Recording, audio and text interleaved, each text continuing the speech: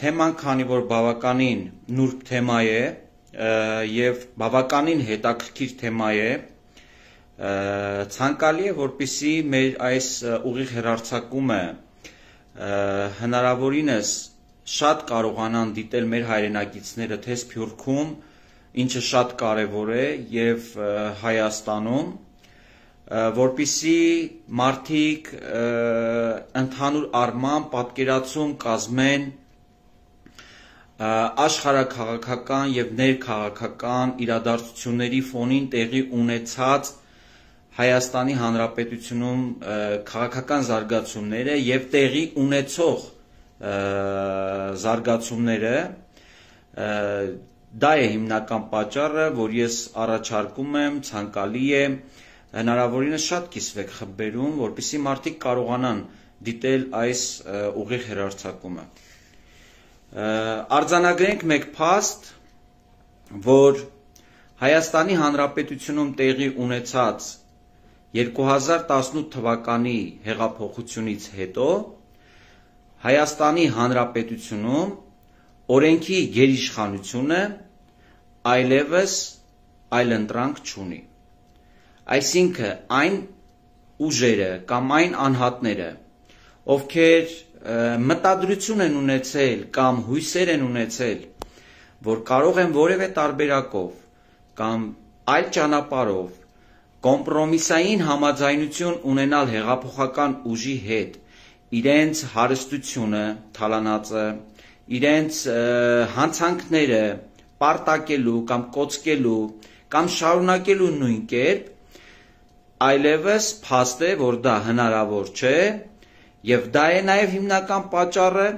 որ մեր ներքաղաքական տեղի ունեցող այսպես ճակերտավոր ընդդիմադիր ուժերի կողմից գործունեությունը անմիջապես համընկնում է մեր արտաքին ուժերի հատկապես թշնամական հարաբերություններ ունեցող ուժերի շահերին եւ դրանից հետո Հայաստանի Հանրապետությունում տեղի ունեցող քաղաքական զարգացումները եւ գործընթացները բխում են, այսինքն արդյունքն են այդ ամենի։ Ինչ է տեղի ունենում հիմա։ Շատ ենք խոսել պատերազմի վերաբերյալ, պատերազմը ինչպես եղավ, ոնց էին պատկերացնում մարդիկ, ով ինչպիսի կարծիք ունի, ինչի հետևանք էր պատերազմը նաև, ովքեր կարողացան այդ պատերազմի ընթացքում աշխատել Հայաստանի Հանրապետության դեմ հիմնական ուժերը, հա, պատկերացնում եք ինչի մասին է խոսքը եւ գիտեք վստահ եմ ինչի մասին է խոսքը, ովքեր այդ նույն ասածը հիմնավորում չկարողացան կոմպրոմիս ունենալ իրենց թալանը, հարստությունը, որը որ Հայաստանի Հանրապետությաններ, հայ ժողովրդիններ չկարողացան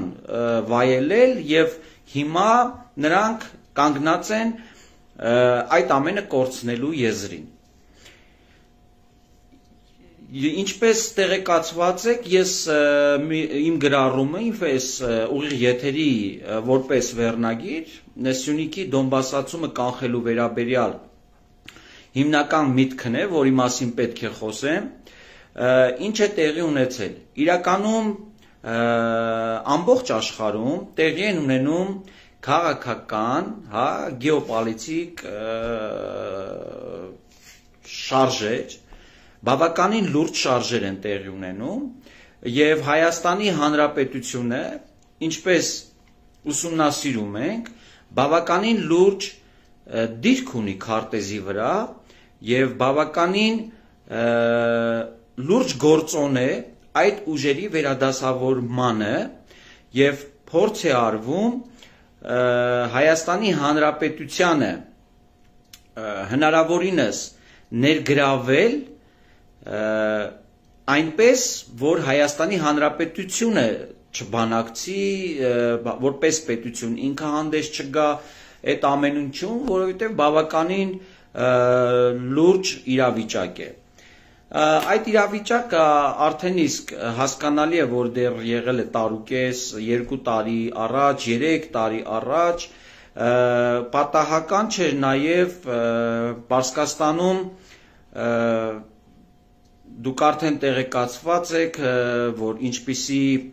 ներդրումներ են իրականացվում, ինչպիսի պայմանագրեր են կնքվել մոտ կես տրիլիոն դոլարի, հա, ինչը նաև տարանցիկ գոտի է Հայաստանի Հանրապետություն իրենց համար շատ այսպես վստահելի որպես հարևան երկիր եւ պատահական չէ որ պատերազմի ընթացքում հիմնական ճեղքումը եղել է հարավի կողմից եւ ամենևին պատահական չէ թե ինչպիսի ուժեր եկան Սյունիքում տեղակայվեցին այնպես որ այդ ամեն ինչը բավականին ես չեմ կարողանում ավելի պարզ բաց խոսել այդ ամենի մասին, որովհետև իրականում չի կարելի նուրբ հարցեր են, բայց կխոսեմ այնպես, որ իմ ընկերների համար հնարավորինս հասանելի լինի այդ տեղեկատվությունը եւ հիմա ինչ է տեղի ունենում կխոսենք բնականաբար ինչ է տեղի ունենում, սակայն խոսենք այն ամենի մասին, թե ինչպես է փորձ արվել Սյունիքը Դոնբասացնելու ուղությամբ Ինչպես տեղեկացված եք, այդ օրերին, այդ խառնաշփոթը, որը որ ստեղծվել էր այն ուժերի կողմից, ովքեր որ ունեն Հայաստանի Հանրապետությունում օրենքի հետ խնդիրներ, ինչպես տեղեկացված եք, Սյունիքի մարզում ձևավորվեց կուսակցություն, եւ այդ կուսակցությունը կենտրոնացված, ինքը ամբողջությամբ կենտրոնացված իբրև թե ներկայացնում էր Սյունիքը Այսինքն տպավորություն էր ձևավորվել, որ Սյունիքը որպես առանձին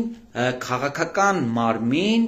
ինչը հետագայում իրենց իսկ նպատակն է եղել որպես առանձին սուբյեկտ, այսինքն պետությունից անջատ եւ այլը եւ այլը, եւ այնուհետեւ կանցնի որևէ գերպետության հստակ վերահսկողության տակ եւ այդ ուժերի կողմից կսկսվի արդեն Սյունիքը որպես առանձին միավոր կառավարվել եւ այդ ամբողջ համաշխարային ծրագրերը արդեն կթելադրվեն Սյունիքով այդ ուժերի կողմից, որը որ ըստ իրենց այլևս չի պատկանի Հայաստանի Հանրապետությանը եւ այլը եւ այլը եւ այլը։ Այդպիսի վատ սցենարներ, ինչպես դա տեղի ունեցավ Ուկրաինայում, մասնավորապես Դոնբասում, այնպես նույնպես այնտեղ նույնպես ձևավորվեց քաղաքական, այսպես միավոր եւ այդ քաղաքական միավորը սկսեց ծառայել, ենթարկվել եւ ընդունել մեկ այլ երկրի քաղաքական պարտադրանքին, ծրագրերին, այնուհետև եղավ այն ամենը, ինչը դուք բոլորդ ովքեր հա հետաքրքրված են տեղեկացված են ընդհանուր գլոբալ քաղաքականությամբ նրանք արդեն իսկ գիտեն թե ինչ է տեղի ունեցել Այսինքն նույն պատկերը տեղի ունեցավ Սյունիքի մարզում, ոչ թե տեղի ունեցավ, կանխվեց այդ պատկերը, որը որ պետք է տեղի ունենար Սյունիքի մարզում, եւ դա է հիմնական պատճառը նաեւ, որ թե սահմանների հարցով, թե տնտեսական հարցով, թե այլ այլ այլ շատ-շատ հարցերով Սյունիքում կարծես թե մեն իշխանությունը տապալվեց։ Եթե մարդիկ կան ովքեր որ խոսում են, որ Սյունիքի համայնքապետերին մեկուսացնելով Սյունիքը գլխատվել են, ես չգիտեմ այդ մարդիկ տիրապետում են այդ ամենին, թե չեն տիրապետում, իրականում Սյունիքը փրկվեց, որովհետև նաև ես նաև կուզեմ ավելացնել մեկ միտք, որ ես չեմ բացառում անգամ, որ կան անհատներ, խոսքը մասնավորապես չեմ բացառում նաև լինեն համայնքի ղեկավարներ, որ իրենց կամքից անկախ այսինքն իրենք իրենց շահերը սпасարկելով, բայց չգիտակցելով ընդհանուր գլոբալ քաղաքականությունը ծառայել են այդ ամենին եւ հիմա եթե ներկայացվում է որ Սյունիքը գլխատվել է իրենց իսկ մեկուսացնելով, դա չափազանցություն է եւ դա իրականությանը չի համապատասխանում, քանի որ Սյունեցին իր հոգում, իր խղճում, իր մտքում ուրախ է եւ Սյունեցին ինքն է ապրում այստեղ, ինքն է այդ ամենի կրողը եւ ինքն է տալիս իր գնահատականը, որի ապացույցը եղավ նաև հունիսի 20-ին տեղի ունեցած ազգային ժողովի արտահերտ ընտրությունները, հա, բոլորս ականատես եղանք, թե ինչպիսի արդյունքներ արձանագրվեց Սյունիքում, մեծ քաղաքներում, գյուղերում, ամենուր, այնքան այն տեղերը, այն գյուղերում, քաղաքներում, որտեղ որ իրենք ներկայան, ներկայանում էին որպես ավելի ուժեղ իրենց գյուղ եւ այլ եւ այլը, բայց բոլոր տեղերում գրեթե կրել են լուրջ պարտություն, ջախջախիչ պարտություն եւ Սյունեցին տվել է իր գնահատականը, Սյունեցին ասել է իր կարծիքը, իր կամքը արտահայտվել է սահմանադրական ճանապարով եւ այդ ամենը կանխվել է Սյունեցու շնորհիվ ամենևին չեմ ուզում այն մարդկանց մասին չխոսել, ովքեր որ այդ ծանր օրերին գտնվելով Սյունիքում, կրելով բազմաթիվ զրկանքներ, իրենց վրա վերցնելով բազմաթիվ հարվածներ, ընդդիմացել են այդ ողջ գործընթացին, վտանգելով անգամ իրենց կյանքը, քանի որ ովքեր ապրում են, բնակվում են Սյունիքում, իրենք բավականին տեղեկացված են, թե ինչպիսի ռիսկեր կարող է լինել այդ ամենի ֆոնին եւ մարդը, ով հանդգնել է դուրս գալ այդ անհատների եւ այդ ուժերի, ովքեր որ իրենք իրենց կարգել էին որպես ֆեոդալներ եւ փորձում էին ամեն օր նաեւ այդպես անում էին մարդկանց նվաստացնելով, մարդկանց վրա կոմպրոմատներ ունենալով, իրենց կամքը թելադրել եւ ծառայեցնել իրենց անձնական շահին, այդպիսիք պարզապես չկարողացան այդ մարդկանց վրա ազդեցություն ունենալ, այսինքն այդ մարդիկ չկարողացան վախեցնել նրանց, ովքեր որ ընդդիմացել էին իրենց եւ նաեւ հենց այդ մարդկանց շնորհիվ է, ովքեր որ ընդդիմացել են, կարողացանք պահպանել Սյունիքը նման վտանգից եւ պաշտպանել նման վտանգից եւ այսպես շարունակ, հա շատ է խոսվում այն մասին հիմնական հա մասը մեր ամենա այսպես թույլ կողմը, հա, որը որ այսպես շատ է ասվում, խոսքը սահմանների մասին է։ Եթե տեղեկացված եք այս այս պահին այլևս դադարել են այդ ուժերը խոսել սահմանի մասին, քանի որ իրենք արդեն հասել են իրենց ուզած մինիմալին, այսինքն ունենալ ազգային ժողովում տեղեր հնարավորինս աղմուկ բարձրացնելու, խանգարելու եւ ինչի ականատեսն ենք մենք բոլորս ամեն օր եւ այդ մարտիկ այլևս անցել են մյուս գործողություններին, ինչի ականատեսն եք ամեն օր եւ մոռացել են սահմանների հարցը եւ այլ եւ այլ։ Ինչպես տեղեկացված եք, ես այստեղ մի կարևոր փաստ եմ ուզում արձանագրել, ուրեմն մինչև սահմանադրության սահմանադրական դատարանի որոշումը հրապարակելու օրը խոսքը ազգային ժողովի արտահերտ ընտրությունների բողոքարկման սահմանադրական դատանի կողմից քննվող գործի վերաբերյալ է, որ ուժեր կային, ովքեր որ համաձայն չէին այդ արդյունքների հետ բողոքարկել էին Մինչ այդ օրը Հայաստանի Հանրապետություն Հանրապետության սահմաններում, մասնավորապես Սյունիքում, Գեղարքունիքում, եթե նկատել եք իրավիճակը բավականին հանգիստ էր։ Սահմանադրական դատարանի որոշումից անմիջապես հետո սկսեցին սրացումներ։ Այսինքն սահմանում իրավիճակը սկսեց սրվել։ Սրվեց նաև Նախիջևանյան հատվածում, Երասխում, սրվեց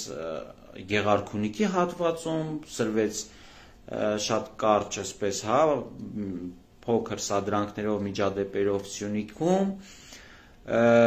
եւ այդ ամենը կարծես թե զուգահեռ տեղի են ունենում Հայաստանի ներքաղաքական զարգացումների ֆոնին եւ հիմա նաեւ գլոբալ համաշխարհային գլոբալ քաղաքականության ֆոնին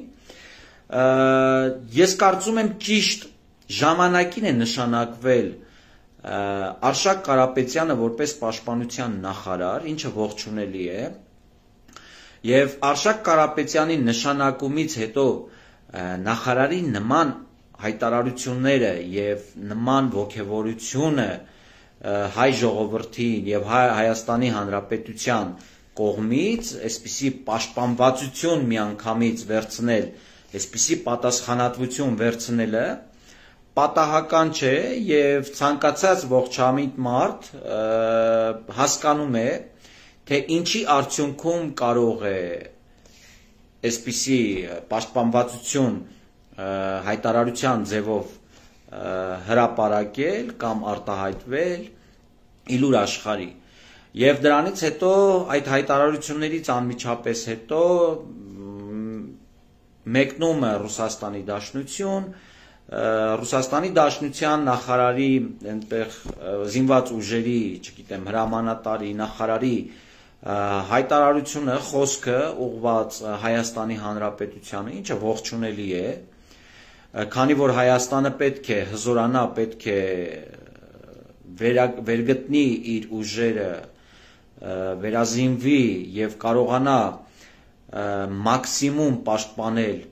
իր սուվերենությունը, սահմանները եւ այս պահին ինչը որ տեղի է ունենում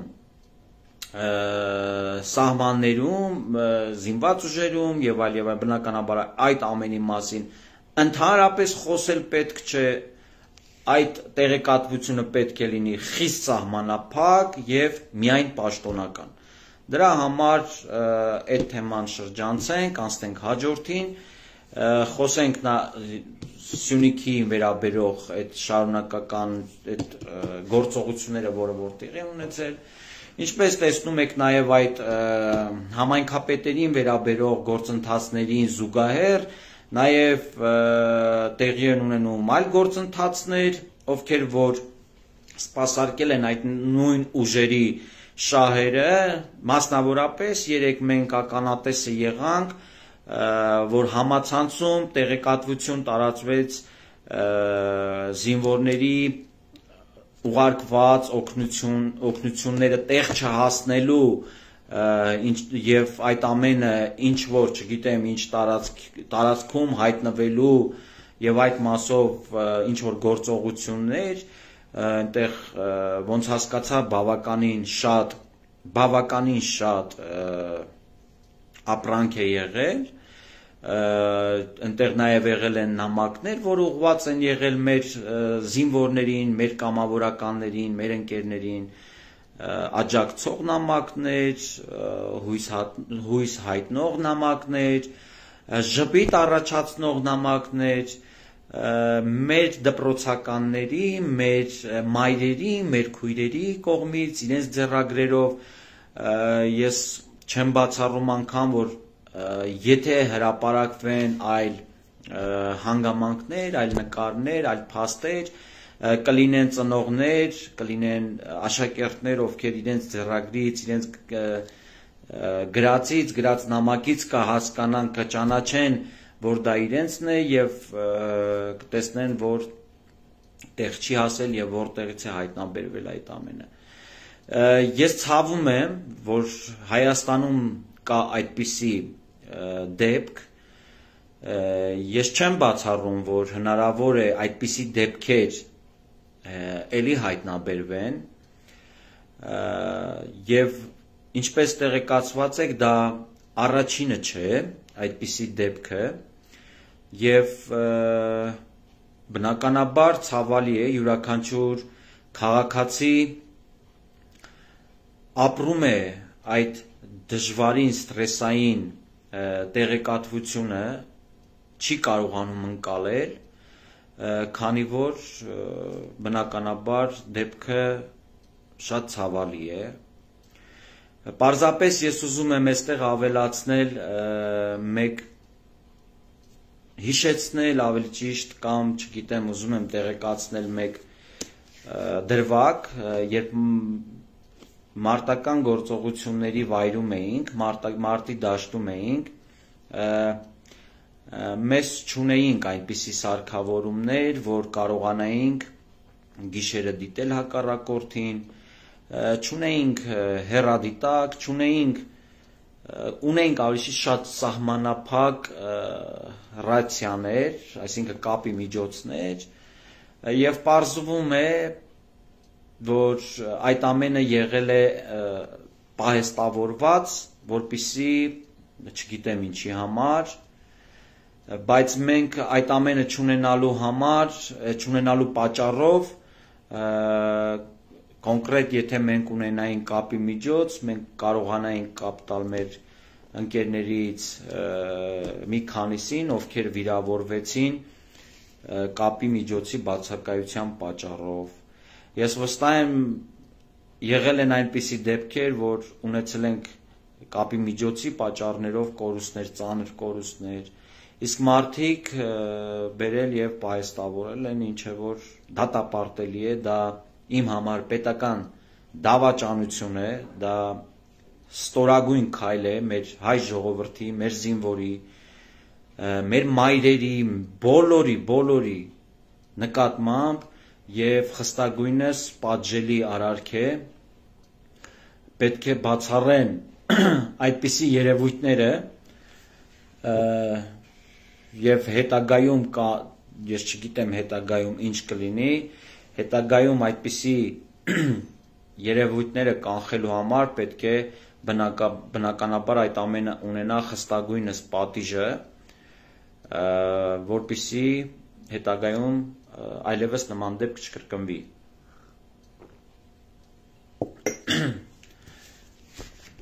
Գիտեք ինչ ժողովուրդ, այսպես տեղեկատվությունը շատ են փորձում ընդհանուր, հա, տեղեկատվական դաշտը շատ են փորձում այլ-այլել, ապա տեղեկատվություն շատ տրամադրել մեր քաղաքացիներին, բայց ինչպես հիշում եք, պատերազմից անմիջապես հետո տեղի ունեցող զարգացումները, իրավիճակը բազմահազարանոց ֆեյքային այսպես հարցակումները, ապա տեղեկատվությունը կարծես թե նվազել է այդ իրավիճակը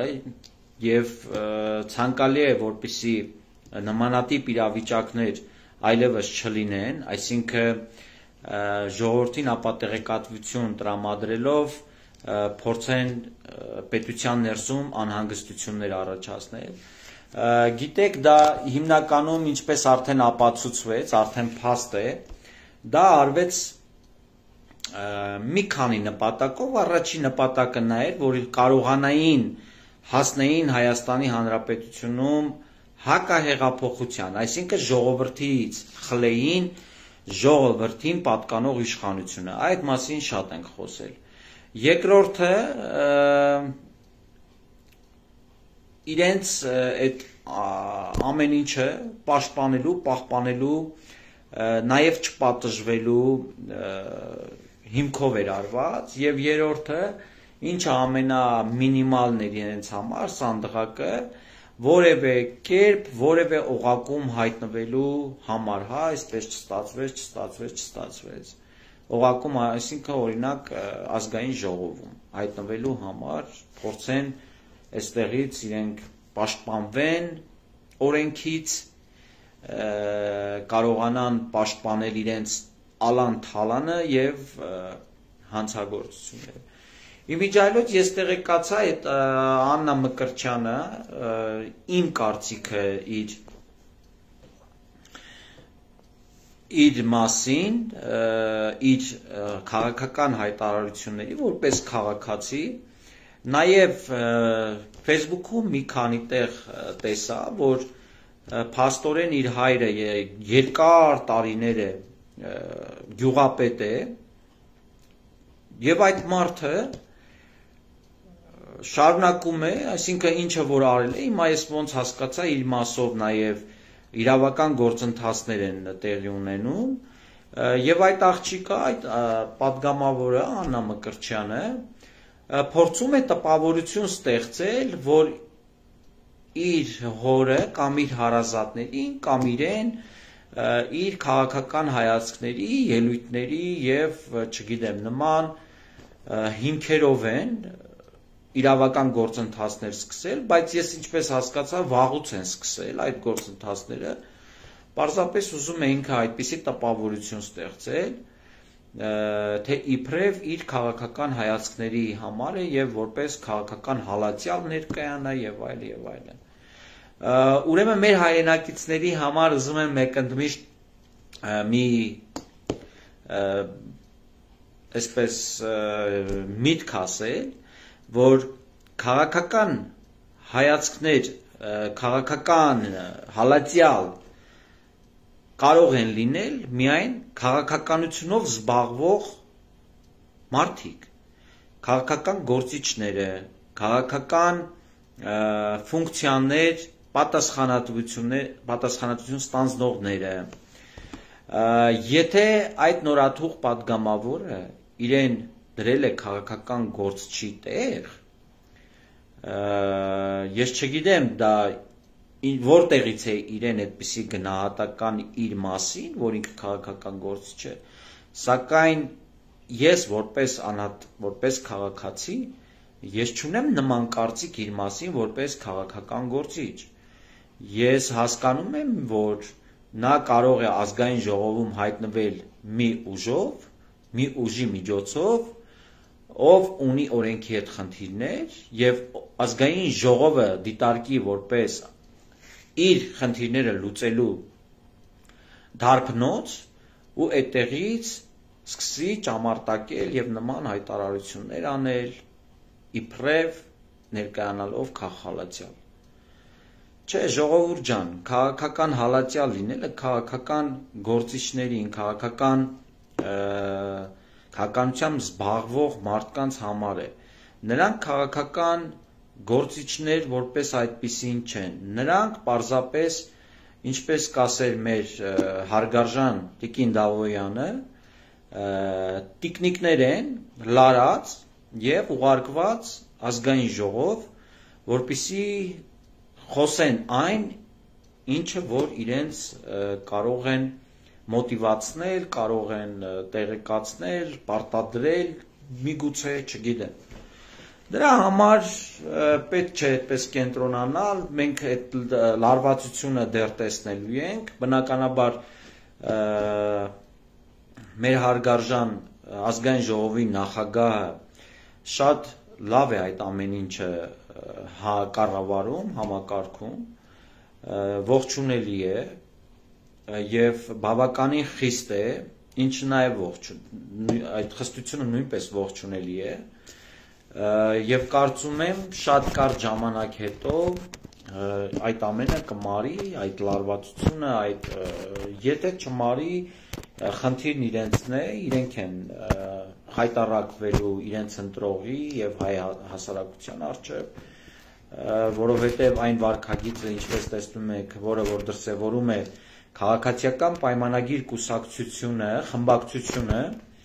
այսպես պատշաճ զուսպ քաղաքական գործչին բնորոշ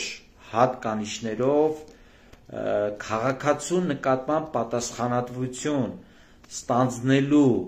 այսպես լրջությամբ եւ նաեւ ինչու ոչ թիմային կարևոր աշխատանքը, հա, այսպես քաղաքական աշխատանքով, ինչը ողջունելի է։ Նաև ես շատ եմ ուզում խոսել մի շատ կարևոր թեմայի վերաբերյալ։ Խոսքը Սյունիքում, ինչպես նաև Հայաստանի Հանրապետությունում հայ ժողովրդին պատկանող գիգանտների մասին է, մեր պետությանը պատկանող գիգանտների մասին է։ Խոսքը Սյունիքի մարզի պղնձամոլիբդենային կոմբինատի մասին է, Որոտան կասկադի մասին է, որ այժմ կոնտուր գլոբալ է համարվում,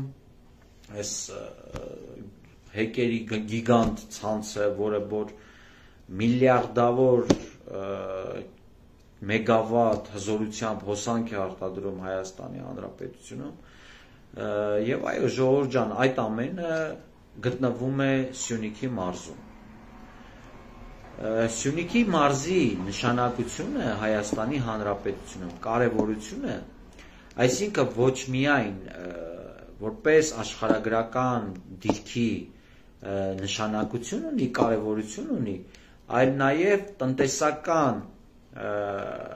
ակտիվությունը, շարժը հզորացնելու կարևոր նշանակություն ունի Սյունիքի մարզը։ Սյունիքի մարզով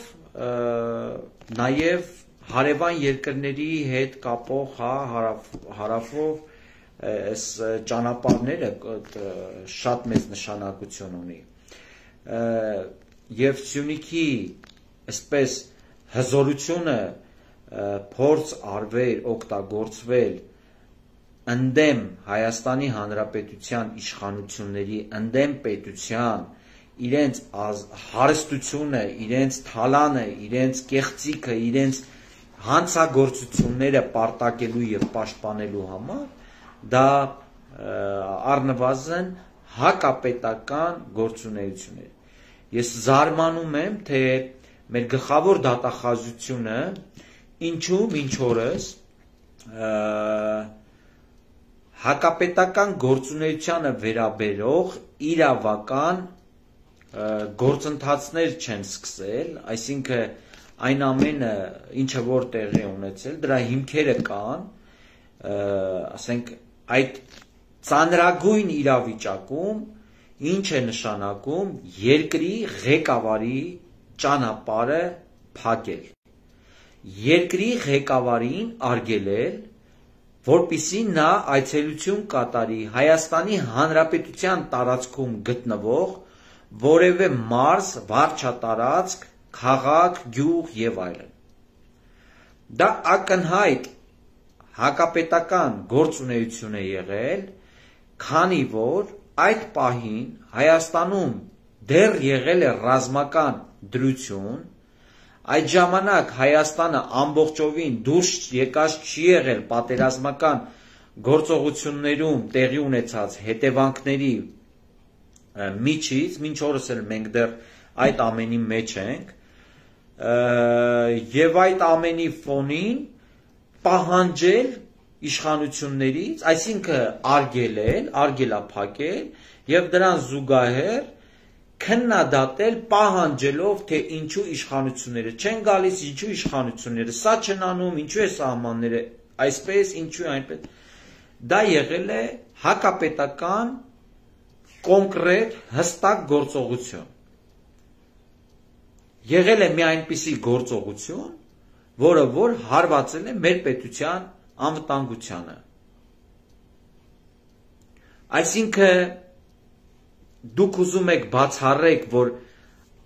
այդ գործողության հետևանքնով հետևանքներով չէր, որ Սև լճի եւ այլն եւ այլն այդ պատմությունները տեղի ունեցան։ Միգուցե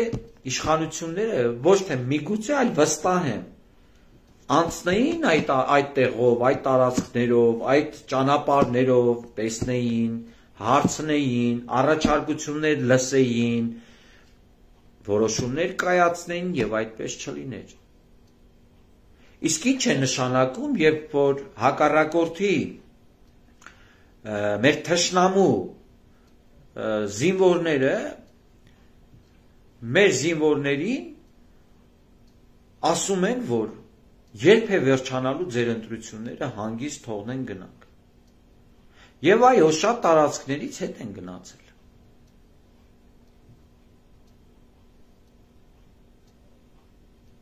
Ինչ է այդ ամենը նշանակում։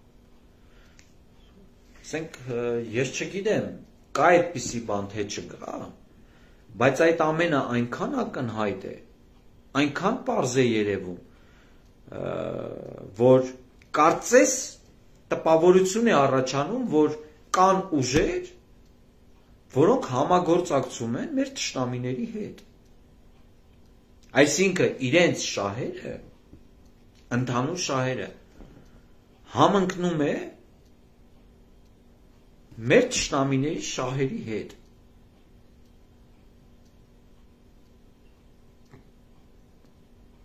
Եթե այն ժամանակ ասում էինք, որ ցանկանում են իշխանություններին թույլաtsնել, որպեսզի իրենք կարողանան իշխանություն փոխել, իշխանություն խլել եւ այլն, նրանք այդ ամենը անում էին մեր պետությանը հարվածելով մեր պետությանը հարվածելով ծանրագույն պատերազմական գործողությունների ժամանակ դրանից առաջ եւ դրանից հետո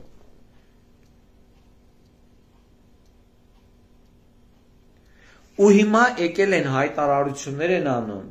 չգիտեմ, խոսք են ասում, որ Սյունիքը գլխատեցին։ Սյունիքը չգլխատեցին։ Սյունիքը փրկեցին։ Սյունիքը փրկեց նախարարինը սյունեցին։ Մինչև ընտրությունները նրանց դեմ ընդդիմանալով, պայքարելով Սյունիքի պահպանման գործում եւ դրանից հետո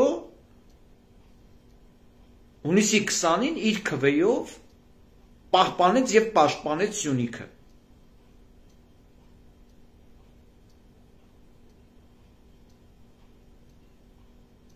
Այո, Սյունիքը Դոնբաս չէր կարող դառնալ, որովհետեւ Սյունեցին դա թույլ չէր տա։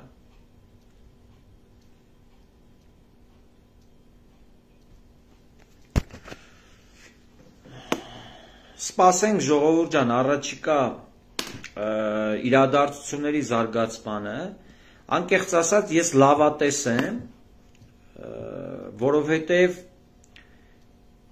ժամանակը աշխատում է մեր օգտին, Հայաստանի Հանրապետության օգտին, որովհետև որքան ժամանակը երկարում է եւ տարվող բանակցությունները աշխարհակաղակական, չգիտեմ, գերտերությունների հետ քննարկումները Հայաստանի մասով Հայաստանի տնտեսական ուղություններով դրական են, դա տեսանելի է եւ մեր հարևան երկրի Պարսկաստանում տեղի ունեցող ներդրումային գործընթացները ի նպաստ Հայաստանի են, որովհետեւ ինչպես տեղեկացված եք, այդ ամենը Հայաստանը որպես լինելու է տարանցիկ պետություն, գազի եւ այլը եւ այլը եւ այլը նաեւ երկաթուղի, չգիտեմ, շատ-շատ հարցերում եւ երբեք չհավատակ, որ հզոր պետությունները այդպիսի ահռելի մեծ քանակով, չափով գումարներ ներկդնեն այնպիսի գոտում, այնպիսի վայրում, որտեղ որ կա անվտանգության սպառնալիք եւ շատ լավ իմացեք, որ դրանից հետո այդ ամենը տեղի ունենալուց հետո Հայաստանի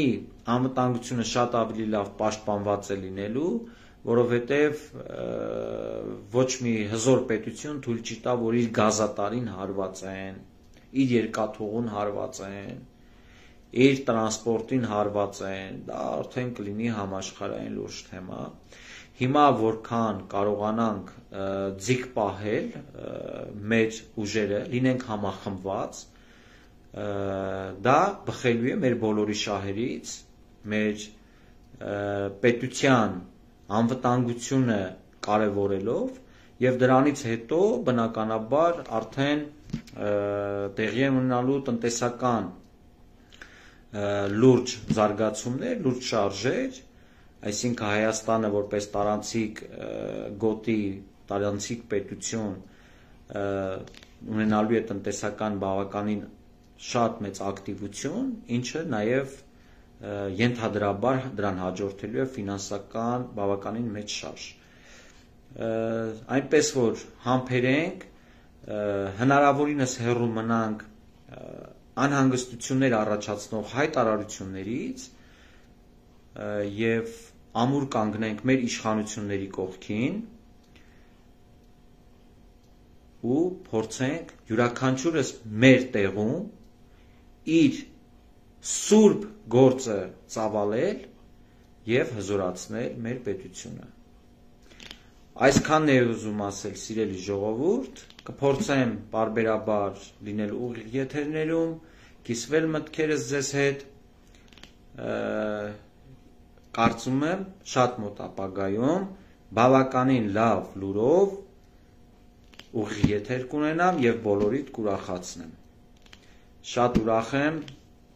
շնորհակալություն ուշադրության համար, ժամանակ տրամադրելու համար եւ կրկին անգամ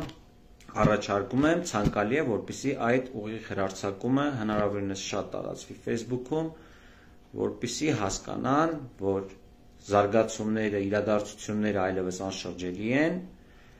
Հայաստանը ունի ապագա եւ այդ ապագան մենք բոլորս համախմբված կերտելու ենք միասին, հզորացնելու ենք մեր պետությունը եւ ունենալու ենք հզոր Հայաստան։ Շնորհակալ եմ բոլորիցս, ցտեսություն։